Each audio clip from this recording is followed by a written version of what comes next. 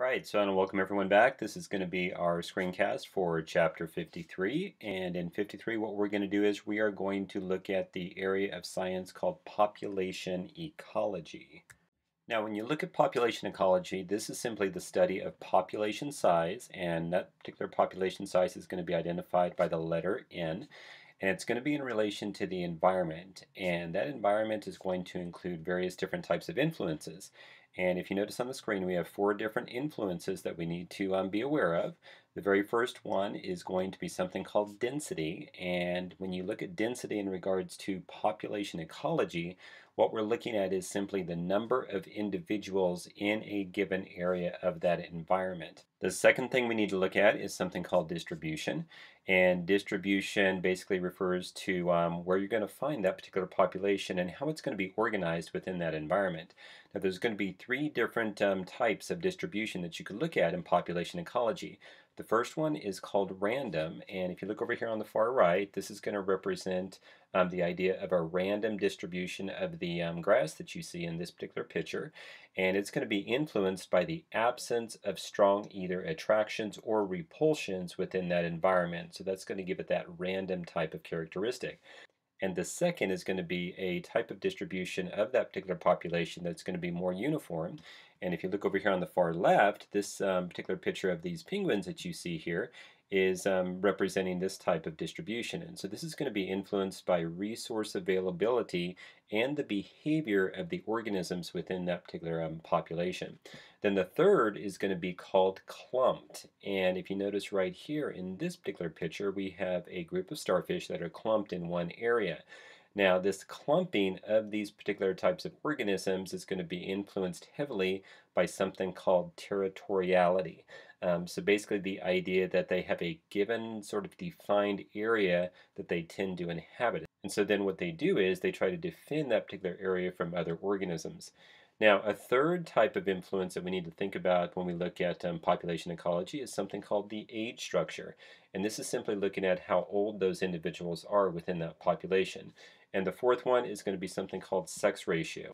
In other words, how many members of that population are male and how many members of that population are female. As we had said, um, this area of population ecology is going to deal with populations, and so we need to look at a definition for population. So a population is simply going to be a group of single species that are going to be living in the same generalized area.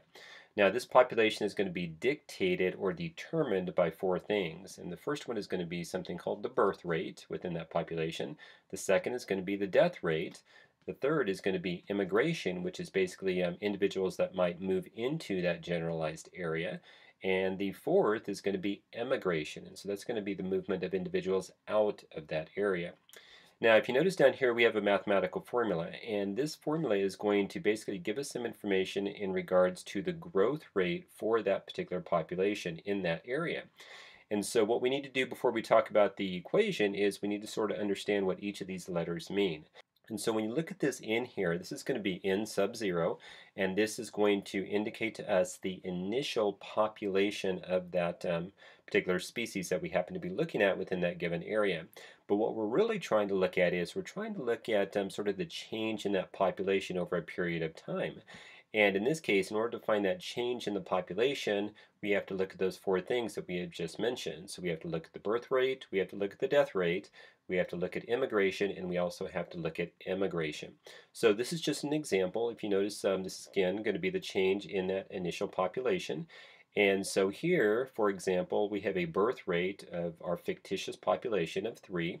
Um, we had one of those individuals die, so this would be 3 minus 1.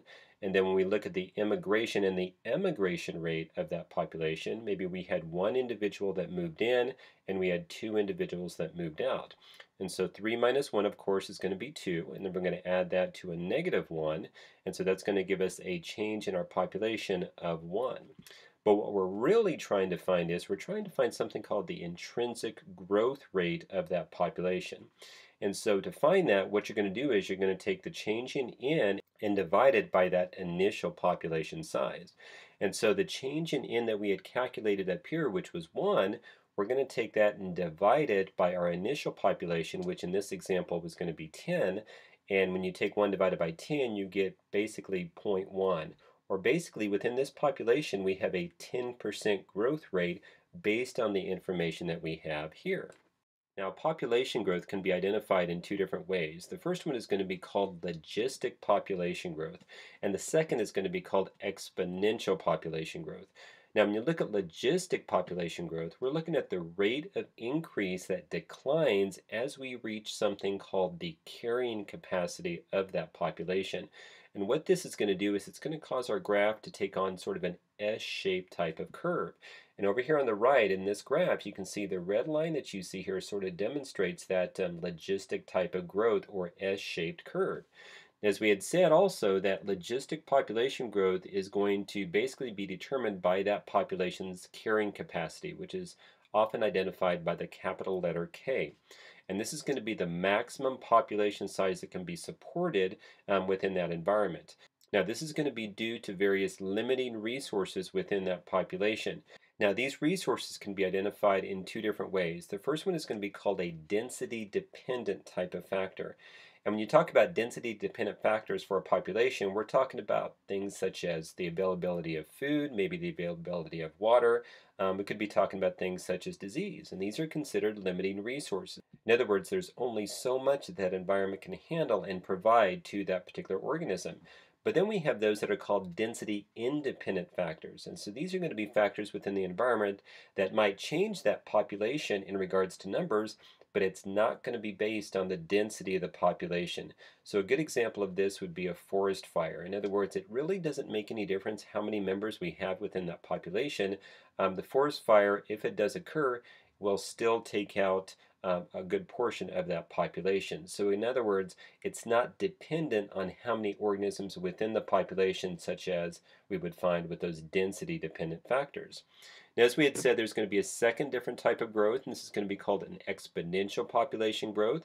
And so this is basically when the population increases, but it's under ideal conditions. Now, the rate of reproduction basically is going to be at its maximum. And so this is going to cause the graph to take on sort of a J-shaped curve. And in most cases, this is not going to be sustainable within that population. So again, if you look up here in the upper right, you're going to notice this blue line that you see right here is going to be our exponential growth curve. Now, there is some math that we will um, look at when it comes down to calculating exponential growth, and that's going to be seen down here at the bottom. So this is going to be the formula that we would use, and so this is going to be our population um, during a period of time, and this is going to be our initial population number. The E is going to be represented by a constant, and that constant is going to be 2.71. Now this R that you can see right here is going to be our um, intrinsic growth rate, and then of course the T is going to represent time. And so as I had said, this NT that you see right here, which is what we're trying to calculate, is basically allowing us to sort of predict what the population might be in the future. Now when you take this information and you start looking at particular populations of organisms um, within certain environments, we can place them into two categories. We can consider them either K-selected populations or we can call them R-selected populations. Now, if a particular organism is what we would consider K-selected, they basically have a density dependent type of selection. In other words, that selects for traits that are sensitive to population density. And sometimes they'll refer to this sort of as a negative feedback type of thing. Now, characteristics of these types of um, organisms tend to be where they hit their carrying capacity and they just simply tend to stay there. Um, these particular organisms tend to have very few offspring and they do tend to give quite a bit of parental care to those offspring. But as we had said, they're going to be affected by those density dependent factors such as food, disease, maybe the availability of shelter, things such as that. Now over here on the right, it's really kind of difficult to see this, but this is going to be a graph of the um, populations of whooping cranes, which were considered critically endangered in the um, late 1930s. In fact, they got down, I believe, to um, a population of about 14 or 18 individuals. But because of um, our breeding programs that we've sort of um, implemented for these animals, there's been a gradual increase in their population. Well, these are considered a K-selected type of population. And it's simply because, again, they are very heavily influenced by density-dependent factors. But if you notice over a period of time, and in this case the graph goes to 2010, there's been a steady increase in those numbers. Now down here on the bottom, what you see is a good example of an R-selected type of um, population of organisms. And these are going to be the ones that are influenced by density independent selection. So this is going to select for life history traits that tend to maximize reproduction during certain parts of the um, organism's life cycle. Sometimes what they'll do is they'll consider this sort of a boom and bust type of cycle. Now this one again, I know the graph's kind of small, but this graph is representing this R-selected type of situation. In this case, we have two different types of organisms. In fact, it's a predator-prey type of situation where the green line is going to represent the snowshoe hare, and the sort of orange line that you see going up and down here is going to represent the Canadian lynx. And the graph itself starts around 1845, and over here on the far right it goes till about 1925.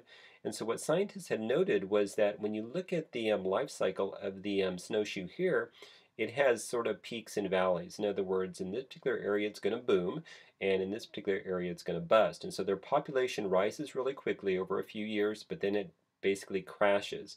And it does that in sort of a periodic type of way throughout many years. In other words, this is the way their population is regulated. It's an R-selected type of situation. But what you'll find is the Canadian lynx also tends to have sort of that boom and bust type of cycle because it's heavily dependent on the snowshoe hare for food. So when you have individuals of the snowshoe hare that are very high, in other words, the population numbers are high, you tend to have populations of Canadian lynx that are high as well. But when they crash, the um, population of the Canadian lynx also crashes as well. And so the birth rate and the death rate basically do not change the population of that particular um, um, organism over a long period of time. This is just the natural cycle of these individuals. Now, when you talk about population ecology, you'll often come across a word called demography. And these are demographics basically, which is simply the study of the vital statistics of a population and how they change over time. So what we're essentially looking at is the birth and death rates of those organisms within that population. And what we'll do is we'll create something called a life table. And this is going to be an age-specific summary of the survival pattern of a population by following a group and simply creating something called a survivorship curve for that organism. Now those curves can fall into three categories. The first one is called a type 1 survivorship curve.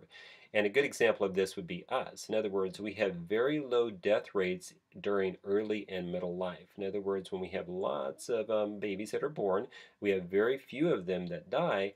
But as you notice, as we age, of course, as we get into our, say, 70s, 80s, and 90s, then of course we start to die. And so in other words, an increase in death occurs among the older individuals within our population.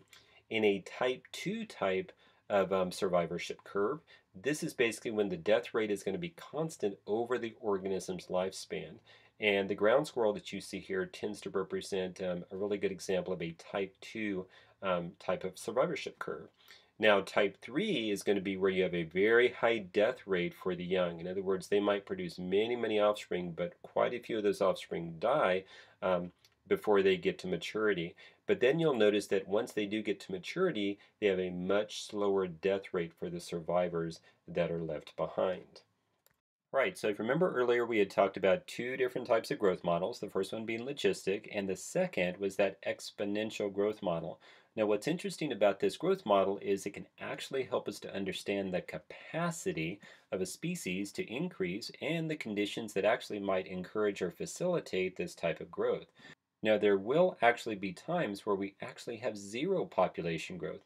And really the only way that this can actually occur is when the birth rate within that population actually equals the death rate within that population. Now, population growth is going to be defined as the growth rate at a particular instant in time. And so if you notice over here on the right, what we have is a data table, and we're going to start off with a population of 10 at time zero. So our job is to sort of predict what the population will be in the future. So we can imagine that each of the numbers you see here could represent a year. So this would be one year, two years, three years, all the way down to 30 years. Now we can use the equation you see over here on the left to help us make those um, predictions. Now, over here, again, we have a change in the population. That's what n represents. That's our initial population over that period of time. So again, that's what population growth is. So it's going to equal R, which was going to be the birth minus the death rates over the population size. Again, that initial population size. So that's going to be our intrinsic growth rate. And again, the n is representing our initial population. So say, for example, we have maybe five births for that population but we have maybe two deaths for that population. We're going to take 5 minus 2, which is going to be 3, and we're going to divide that by n, which in this case over here, from the information that we have in our table, the initial population is going to be 10. So we take 3 divided by 10. So that's going to give us 0.3. So then what we're going to do is we're going to take this r value, which is what we've calculated, that's our intrinsic growth rate, and we're going to take that 0.3 and we're going to multiply it by our population, which in this case is going to be 10. And so that's going to give us a population growth for this particular time frame of 3. So we're going to take that 3 and we're going to add it to this 10. So that's going to give us 13 individuals in that population. We're predicting this for that first year. But then what we're going to do is we're going to do the same exact thing, again, still using this R value, and we're going to take 0.3 and we're going to multiply that by 13 this time and that's going to give us a about 4. I think it's close to 3.9. So we're going to take that 4 and we're going to add it to 13 and so we predict that during year 2 we should have around 17 individuals in that population. And we'll do the same thing for year 3. Again we simply take that 0.3 and we multiply it by, in this case would be 17 and that's going to give us close to 5. I think it's 5.1. And so we're going to take that 5, we're going to add it to 17, and that's going to give us a population size, again a predicted population size of 22. So what you can do with these numbers is you can actually graph them and look at the growth rate of that population. Now the only problem with doing this math is that once you get into the numbers that you see down here, these numbers can be incredibly large. And so that's when a spreadsheet would come in really handy to make your calculations. So there is a second way that you can actually find out the same exact information that we were calculating over here on the far right, and it's simply by using a little bit of algebra. And so for those of you who are comfortable doing this, you're welcome to use the equation that you see down here towards the bottom. Um, you can plug in the same numbers, it's going to give you the same information. Um, but again, using those spreadsheets that I mentioned a little bit earlier, maybe using formulas within a spreadsheet is going to make your job a lot easier when it comes down to um, actually calculating those really large numbers that you're going to find as the period of time increases. Alright, so that's going to finish up our screencast for chapter 53. Again, we're just touching a little bit on population ecology. Um, as always, please make sure that you have completed your screencast study guide.